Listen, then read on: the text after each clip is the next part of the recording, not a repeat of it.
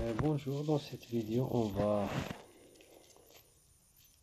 essayer de trouver la réponse de la question 2 de l'exercice 3. Donc c'est une question de cours.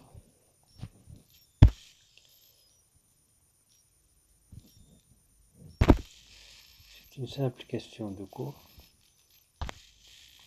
Donc si on a un vecteur euh, normal,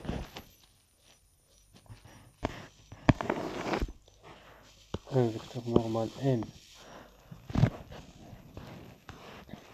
Coordonnées A, B et C. Vecteur normal non nul c'est un vecteur normal non nul du plan T. Donc l'équation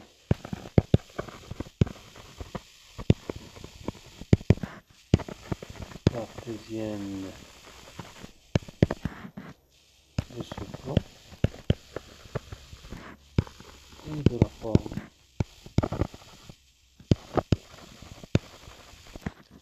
AX plus BY plus CZ plus T égale à 0.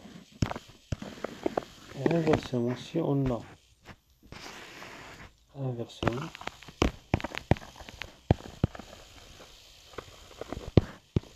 si on a une équation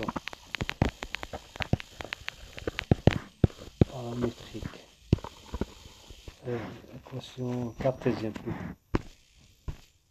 Cartésienne.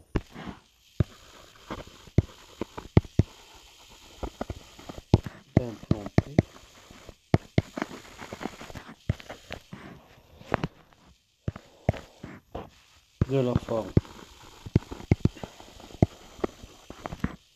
ax by plus cz plus d est égal à 0. Donc le vecteur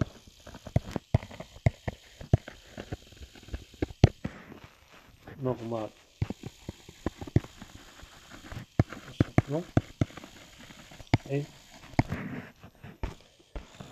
n ce sont les premiers coefficients, les, les, les, les trois premiers coefficients. N, coordonnées A, B, S.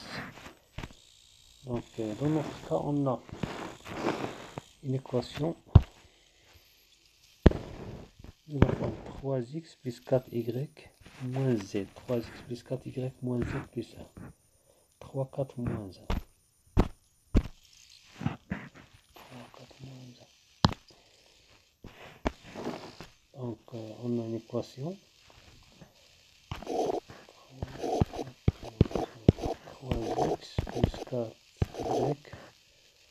moins z plus 1 est égal à 0. Donc, les trois premiers coefficients sont, ils représentent le vecteur normal. Donc, n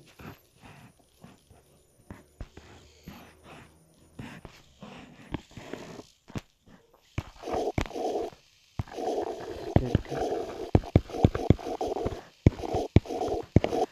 3, 4, moins.